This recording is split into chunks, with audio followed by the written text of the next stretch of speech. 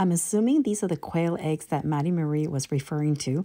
I decided to try it first as she said it was really good. I seriously thought it was just two little black balls. I had no idea they were quail eggs, but I opened it up and it was really creamy in the middle. And surprisingly, she is right. These are super yummy. A little bit spicy, mushy in the middle. The outside's a little bit kind of chewy, but definitely really good.